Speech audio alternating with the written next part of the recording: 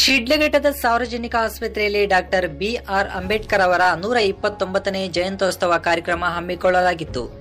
ಈ ವೇಳೆ ಮಾತನಾಡಿದ ತಾಲೂಕು ಆರೋಗ್ಯ ವೈದ್ಯಾಧಿಕಾರಿ ಡಾಕ್ಟರ್ ವೆಂಕಟೇಶ್ ಮೂರ್ತಿ, ಸಮಾನತೆ ಅಧಿಕಾರಕ ಸಂವಿಧಾನ ಶಿಲ್ಪಿ ಡಾಕ್ಟರ್ ಬಿಆರ್ ಅಂಬೇಡ್ಕರ್ ಜಯಂತಿಯಂದು ಎಲ್ಲರೂ ಭಾರತದ ಶಿಲ್ಪಿಯನ್ನು ಸ್ಮರಿಸುತ್ತಾ, ಕೊರೋನಾ ವೈರಸ್ ಜಾಗೃತಿ ಮತ್ತು ಮುಂಜಾಗ್ರತೆಯ ಸರ್ಕಾರದ ನಿಯಮವನ್ನು ಕಟ್ಟುನಿಟ್ಟಾಗಿ ಪಾಲಿಸುವ ಮೂಲಕ ಕೋವಿಡ್ ನೈನ್ಟೀನ್ ಸೋಂಕು ಹರಡದಂತೆ ಮುನ್ನೆಚ್ಚರಿಕೆ ವಹಿಸಬೇಕು ಎಂದರು.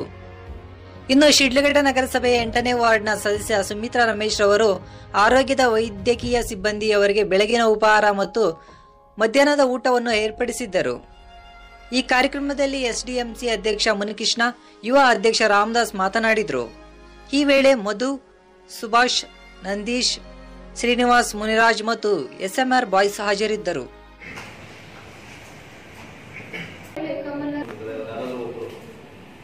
ಮಾತಾಡಿದ್ರೆ ಅಂತ ನಾನು ಮನವಿ ಮಾಡ್ತಾ ಇದ್ದೀನಿ ಎಲ್ಲರಿಗೂ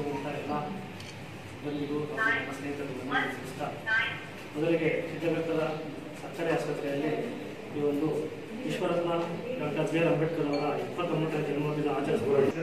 ಏನಂದರೆ ಈ ಕೋವಿಡ್ ನೈನ್ಟೀನ್ ಅನ್ನೋ ಮಹಾಮಾರಿ ಕೊರೋನಾ ನಮ್ಮ ಸಿಬ್ಬಂದಿ ನಮ್ಮ ತಾಲೂಕಿನ ಸಿಬ್ಬಂದಿ ಎಲ್ಲ ಸೇರಿಕೊಂಡು ಇದನ್ನ ಚೆನ್ನಾಗಿ ತೊಲಗಲಿ ನಮ್ಮ ಜಿಲ್ಲೆ ಎಲ್ಲ, ನಮ್ಮ ದೇಶದಲ್ಲಿ ತೊಲಗಲಿ ಅಂತ ನಮ್ಮ ಆರೋಗ್ಯ ಇಲಾಖೆಯಿಂದ ಎಲ್ಲರೂ ಸಹಕರಿಸ್ತಾ ಇದ್ದಾರೆ. ಅವ್ರಿಗೆ ಮೊದಲನೇ ಸಾರಿ ಧನ್ಯವಾದಗಳು.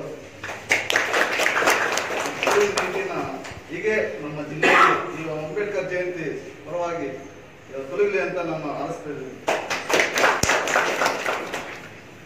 ವಿಶ್ವದಲ್ಲಿ ಅತ್ಯಂತ ಮೇಧಾವಿ, ಸುಶಿಕ್ಷಿತ ಭಾರತ ರತ್ನ ಇನ್ನೂ ಅನೇಕ ಬಿರುದುಗಳನ್ನು ಅಲಂಕರಿಸಿದ ಬಿ ಆರ್ ಅಂಬೇಡ್ಕರ್ ಅವರು ಜನ್ಮದಿನಾಚರಣೆಯನ್ನು ನಮ್ಮ ಸಾರ್ವಜನಿಕ ಆಸ್ಪತ್ರೆಯಲ್ಲಿ ಹಮ್ಮಿಕೊಂಡಿದ್ದೀವಿ ಇದೇ ರೀತಿ ನಮ್ಮ ಭಾರತದಾದ್ಯಂತ ಎಲ್ಲ ಕಡೆನೂ ಅವರ ಜಯಂತಿಯನ್ನು ಆಚರಿಸ್ತಾ ಇದ್ದಾರೆ. ಆದರೆ ದುರದೃಷ್ಟವಶಾತ್ ಹದಿನೈದು ವರ್ಷ ನಮಗೆ ಕೊರೋನಾ ವೈರಸ್ ನಮ್ಮ ದೇಶಕ್ಕೆ ದೇಶಕ್ಕೆ ಯಾಕೆ, ಇಡೀ ಪ್ರಪಂಚಕ್ಕೆ ಅಪ್ಪಳಿಸಿರೋದ್ರಿಂದ ಈ ಒಂದು ಜಯಂತಿಯನ್ನು ಸರಳವಾಗಿ ಆಚರಣೆ ಮಾಡಬೇಕು ಅಂತ ಸರ್ಕಾರದ ವತಿಯಿಂದ ಹೇಳಿರೋದ್ರಿಂದ ಮತ್ತು ಜಾಸ್ತಿ ಜನ ಈ ರೀತಿ ನಿಂತ್ಕೊಳ್ಳೋದು ಬೇಡ ಅಂತ